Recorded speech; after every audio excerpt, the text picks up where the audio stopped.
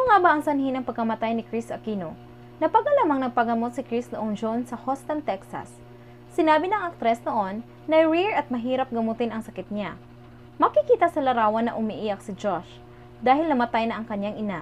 Nangungulila si Beam at Josh sa pagkamatay ng ina, labis na kalungkutan ang nadarama ni Beam dahil hindi na niya makitang muli ang kanyang ina. Ayon sa ating source, gaganapin ang burol ni Chris ngayong linggo. Malungkot ang netizens dahil ito na lang ang araw ni Chris sa mundong ito, na makita siya ng kanyang dalawang anak at followers. Nagdadalamhati ang buong kapamilya industry dahil wala na ang Queen of All Media. Si Chris ay anak ni Cory Aquino, ang bunsong anak at kapatid ni Noy Aquino. Ang huling habilin ni Chris bago siya mamayapa ay mag-aral ng mabuti at hinabilin niya si Joss sa kanyang bunsong anak na alagaan ito. Sinami rin umano ni Chris sa kanyang mga kapatid na huwag pabayaan ang kanyang mga anak dahil nga walang ama si Beam at Josh. Naging komplikado ang sakit noon ng aktres dahil sa kanyang gamot na iniinom na pampaganda.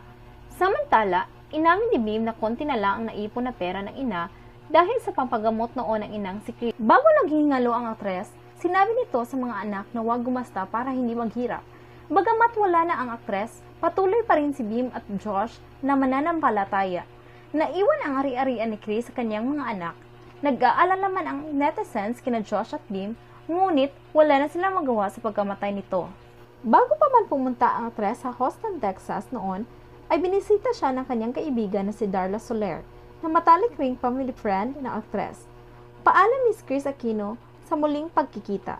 At dito nagtatapos ang ating Showbiz Martes. Kung bago ka pa lang sa ating channel, please don't forget to subscribe and hit the notification bell para lagi tayong updated.